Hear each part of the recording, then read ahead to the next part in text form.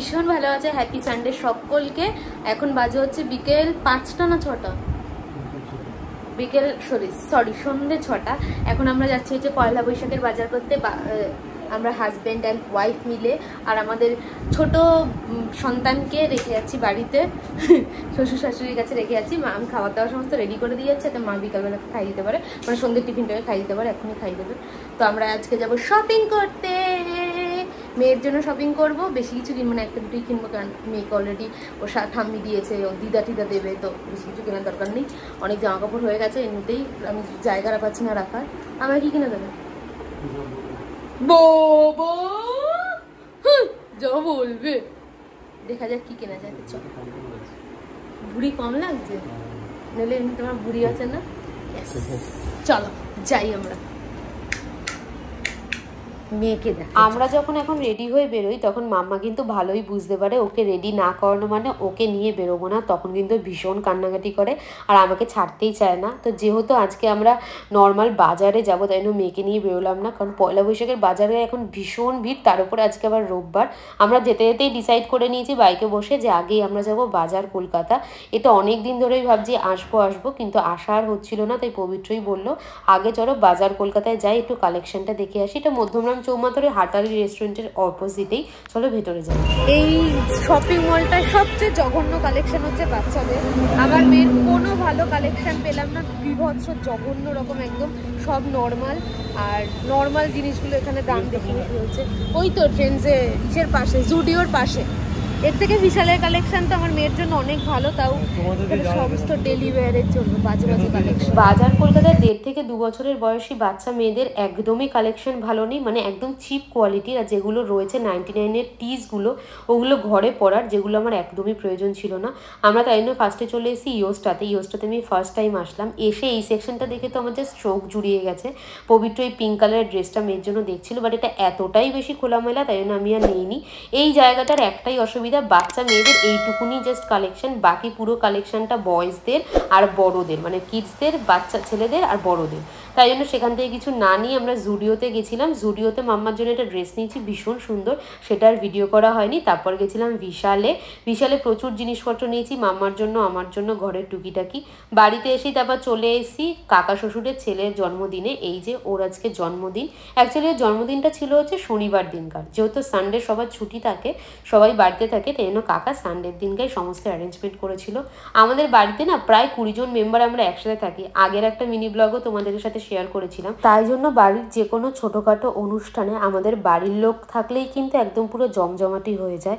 যদিও বা এখানে রয়েছে নীলাদ্রির দুই বন্ধু মানে একজন হচ্ছে উল্টো দিকের বাড়িতে থাকে, আর একজন হচ্ছে কাকার কোনো এক বন্ধুর ছেলে, আর এইটা হচ্ছে নীলাদ্রির আন্টি এই আন্টিও কিন্তু আমাদের পাশেই, বাড়ির পাশেই থাকে। আমি যখন প্রথম প্রথম বিয়ে করে এসেছিলাম, তখন ভাবতাম এই নেহা মনে হয় আমার চেয়ে অনেকটা বড়। আমি তাই জন্য ওকে দিদি দিদি বলে ডাকতাম। একদিন শাশুড়ি বলল যে, না ও থেকে অনেকটা ছোট বয়সে। তারপর আমি বললাম, ও আচ্ছা যাই হোক। তারপর ওকে এখন আমি নাম ধরেই ডাকি। আর এখানে ছোটুকে দেখো, ও কিন্তু মাথায় ক্যাপ পরে নিয়েছে সুন্দর করে। আর এখানে নীলাদ্রির মাথার ক্যাপের কালার আর পিছনে জানলার আর বারান্দার লাইটের কালার একদম সেম সেম হয়ে গেছে। তাই আমাকে বলছিলাম যে, ওটা চেঞ্জ করে তুই ইয়েলো ক্যাপটা পর। আর ওখানে পোজ দিচ্ছিল। এখানে সবাই একত্রিত হয়ে গেছি। আমরা এবার কেক কাটার উদ্দেশ্যে, কারণ অলরেডি নটা বাজতে যায়। এখানে সবাই মিলে দেখো আমার ক্যামেরায় কি সুন্দর পোজ দিচ্ছে। আর নেহা বারবার চেষ্টা করছিল যাতে আমার মেয়ের মাথায় একটু ক্যাপটা দিতে পারে কিন্তু তিনি তো আর ক্যাপ পরবে না উল্টো ক্যাপ দেখে অন্যদিকে দৌড়চ্ছে। জিতু আমাকে সকালেই বলেছিল যে ও আজকে ন্যাড়া হবে বাট আমি ওটাকে সিরিয়াসলি নিইনি ভেবেছি হয়তো নতুন কোনো হেয়ার কাট দেবে। কিন্তু ও যে সত্যি এরকম আর্মি ছাড় দিয়ে আসবে আমি বুঝতে পারিনি যদিও বা গরমের জন্য এটা কিন্তু একদম suitable happy birthday to you টাকা টাকা happy birthday happy birthday dear Niladri তোমরা যারা যারা ব্লগটা দেখছ কমেন্ট বক্সে সবাই কিন্তু উইশ করো ওকে, ও যেন খুব ভালো থাকে, সুস্থ থাকে, ও যেন খুব ভালো একজন সাকসেসফুল মানুষ হয়। এটাই আমাদের সকলের তরফ থেকে কাম্য। তো এখানে কেক কাটা অলমোস্ট হয়ে গেছে, কারণ রাত্রি নটা বাজে, সবাইকে বাড়িও ফিরতে হবে। আর এই দিদিটা হচ্ছে পবিত্রর বন্ধুর বউ, যার বিয়েতে কিনা কয়েকদিন আগে আমরা বাড়ির সকলে মিলে গেছিলাম। এখানে বেলুনের মধ্যে লজেন্স ভরে ঝোলানো হয়েছে, বেলুনটা অতিরিক্তই ছোট হয়ে গেছে। পুচকে দুটো তো ভয় পাচ্ছে বেলুনটা ফাটানোর জন্য, আর এখানে কাকিমুনি খুঁজছে হচ্ছে কোনো দেশলাই যাতে ধূপকাঠি জ্বালিয়ে ওটা ফাটাতে পারে। আলটিমেটলি নেহাই এই কাজটা করে দিল। ছোটবেলায় আমরা কত মজা করতাম এই বেলুন ফাটানো নিয়ে। নিচে গিয়ে দাঁড়িয়ে থাকতাম যে কতক্ষণে লজেন্স করব। আর এখানে দেখো কোনো মানুষই নেই লজেন্স করানোর। কাকা সবার জন্য বিরিয়ানি নিয়ে এসছে অর্ডার দিয়ে দোকান থেকে নিয়ে এসছে। এবার আর বাড়িতে কিছু বানানো হয়নি। বিরিয়ানি সবাইকে হাতে হাতে ধরিয়ে দেবে। আমার বৌদি ঠিক আছে? খুব লজ্জা পায় ভিডিও করতে আমি মোটিভেশন দেবো প্লিজ আমার চুলটা কেমন?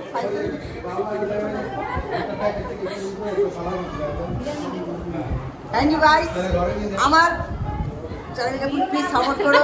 আমার আমি আমার চ্যানেলের তো চ্যানেল আমার চ্যানেল নাম হচ্ছে কিচেন আসমান ঠিক আছে? প্লিজ সাপোর্ট করে দিও ভালো ভিউজ ওঠে ঠিক আছে? অবশ্যই ভালো লাগবে অনেক ভালো ভালো রান্নার ভিডিও রয়েছে। রান্না করতে পারবে হেভি টেস্ট ঠিক আছে? চাট খেতে যারা চাট খেতে ভালো না তাদের জন্য বিশাল কাজের যাচ্ছে কালকে আমার ভিডিও করব হচ্ছে পমফ্রেট মাছের pomfret fish fry pomfret fry সেই ব্যাপার। ঠিক আছে? বৌদি একটু বলবে রাস্তা শুধু কিন্তু বিরিয়ানি মেনু ছিল না, সাথে ছিল কোল্ড ড্রিঙ্কস মিষ্টি চিকেন পকোড়া, সমস্ত কিছু নিয়ে কিন্তু দারুণ আয়োজন ছিল। তো এখন মাঝে পনেরো দশটা, মেয়েকে খাওয়ানো দাওয়ানো হয়ে গেছে, আমরা চলে এসেছি, আমি বেশিক্ষণ ছিলাম ওখানে এখনও শাশুড়ি বাড়িতে রয়েছে কাকার ঘরে। আমি আর ছিলাম না পবিত্রও চলে এসেছে, মেয়েকে খাওয়ানো ছিল আমি তাড়াতাড়ি চলে এসেছি। এবার যে জিনিসগুলো এসেছে, ওই জিনিসগুলো একটু আনপ্যাক করে দিয়ে চলো তোমাদের সাথে শেয়ার করি, কি কি কিনেছি? মাম্মার যেহেতু ডাস্ট অ্যালার্জি আছে, তাই জন্য ডাক্তার প্রেসক্রাইব করেছে ওকে বিভিন্ন ধুলোর থেকে একটু অ্যাভয়েড করে চলতে। আর ওকে তুলোর জাতীয় জিনিসপত্র থেকে ও যেন একটু দূরে থাকে, তাতে ওর হাঁচি কাশিটা বেশি হবে এবং অ্যালার্জিটা আরও বেশি বাড়াবাড়ি হবে। তাই জন্য আমি অনেক চিন্তাভাবনা করে ফোমের বালিশটা নিয়ে এসেছি। কদিন আগে এটা বিশালে গিয়ে দেখে এসেছিলাম, তাই আজকেই নিয়ে এলাম।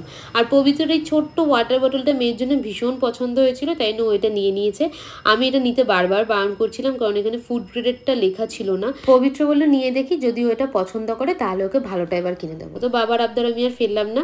আর এখানে নিয়েছি ছোট্ট দুটো প্লান্ট ওই যখন রান্নার বিভিন্ন শর্টস ভিডিওগুলো বানাই তখন এগুলো সাইডে রাখলে না ভিউটা বেশ ভালো আসে। যে কোনো বাচ্চাদের শপিং মলে গেলে দেখবে বাচ্চা মেয়েদের জামা দিতে কিন্তু চৌকি সরানো যায় না। আমি তো ভাই সরাতে পারি না। এই যে হলুদ জামাটা আমি পছন্দ করেছি আর এই লালটা পবিত্র। আর এইটা হচ্ছে মেয়ের যে বালিশ টেনেছি তার কভার আর এই পিঙ্ক জামাটা এত সুন্দর সাইজে একটু বড় হবে জানি, তারপরেও আমি এটা নিয়ে চলে এসেছি। ভীষণ ভালো লেগেছে। আর এই হাফ প্যান্ট আর এই শার্টটা নিয়েছি জুডিও থেকে, যেটার কোয়ালিটিটাও দারুণ মানে দুর্দান্ত আর কিন্তু দেখতেও অসাধারণ। নিজের জন্য নিয়েছি দুটো বাড়িতে পরা ফুল প্যান্ট আর আমার দুই মা আর বৌদির জন্য নিয়েছি দুটো নাইটি ব্যাস, আমাদের পয়লা বৈশাখের বাজার কমপ্লিট রাত্রিবেলা বাজে ওই সাড়ে দশটা মতো, আমরা এখন বসে পড়েছি খেতে। মাও নিয়ে এসেছিল, নিচ থেকে বিরিয়ানির প্যাকেটটা আমাদের জন্য উপরে দেখো পুরো টেবিল একদম খাবার দাবারে অগোছালো হয়ে রয়েছে। এখন বাজে হচ্ছে সাড়ে এগারোটা। এই যে মা বাবার এখনও পর্যন্ত কোনো ঘুম নেই, এনাকে আমি পুরো জামা কাপড় পরে রেডি করি। অনেকক্ষণ চেষ্টা করলাম, কিন্তু উনি এখনও ঘুমননি। এই যে আমি যেই দেখেছি ক্যামেরা অন করেছি, ব্যাস, সাথে চলে এসে পোজ দেওয়ার জন্য।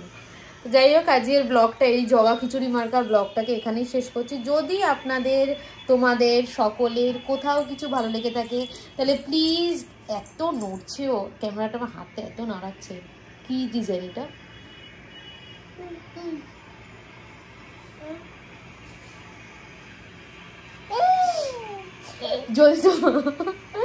যদি তোমাদের কিছু ভালো লেগে থাকে তাহলে please do like comment share and subscribe till then tata good night সবাই ভীষণ ভালো থেকো।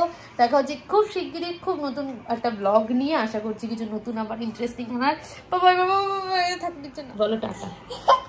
টাটা। তো bye bye good night kingdom.